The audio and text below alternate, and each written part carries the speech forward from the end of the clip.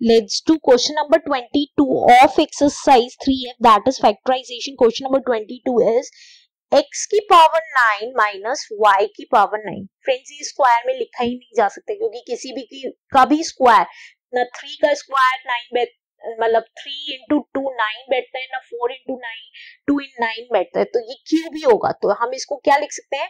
X cube का whole cube minus y cube का whole cube क्योंकि y की अगर पावर थ्री का होल स्क्वायर करें तो सिक्स बैठेगी पावर अगर फोर का, की का स्क्वायर करें तो एट बैठेगी. तो इसलिए ये क्यूब ही जाए. अब देखिए a cube minus b cube a है एक्स थ्री और एक्स की पावर थ्री और बी है वाई की पावर थ्री तो a cube minus b cube का फॉर्मूला होता था a minus b a square plus a b plus b square sorry b square right friends तो ए की जगह हम एक्स क्यूब रखेंगे तो ये आया x cube minus y cube now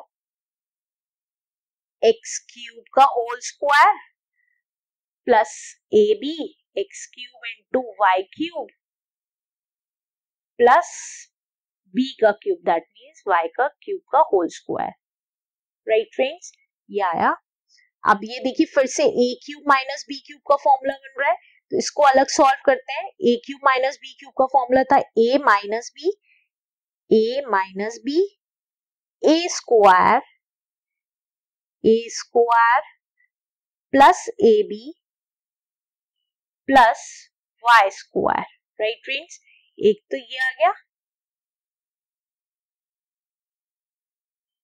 ये हमने इस ब्रैकेट को सॉल्व किया। अब इस ब्रैकेट को सॉल्व करते हैं। x की पावर, x क्यूब का स्क्वायर दैट मीन्स x की power six plus x cube y cube plus y की पावर सिक्स राइट फ्रेंड्स अब ये देखिए, ये क्या आ गया?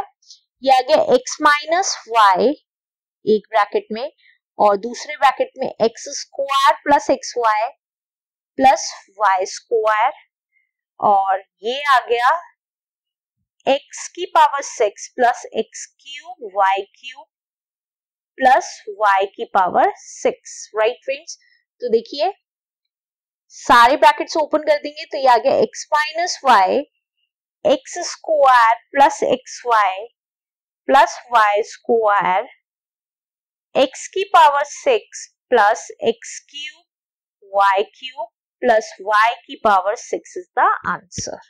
Thank you. If you understand the step-by-step -step solution of this video, please subscribe my channel on maths and share it with your friends. Thank you.